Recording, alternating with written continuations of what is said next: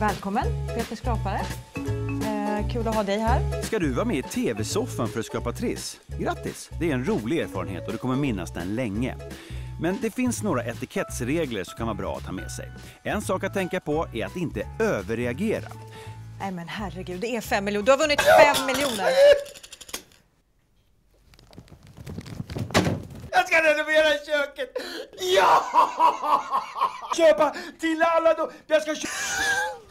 Och Björn ska få en Det är båt. alltid härligt att visa känslor. Men vi bor trots allt i Sverige. Här är vi försiktiga med både känslor och utsvävningar. Nej men herregud, det är fem miljoner. Du har vunnit fem miljoner. Ja, kul. Grattis, wow! Ja, tack. Vad ska du göra nu? Ja, det vet jag inte. Eh, Nej. Vi har pratat om i familjen och kanske eventuellt kakla om hemma i badrummet. Åh vad kul! Ja, så kanske det å andra sidan. Jag vet, jag vet faktiskt inte. Det är också det är inget fel på det kaklet vi har. Men det kanske blir eh, över till någon liten resa? Ja, det är möjligt. Vi har faktiskt pratat om Rimbo.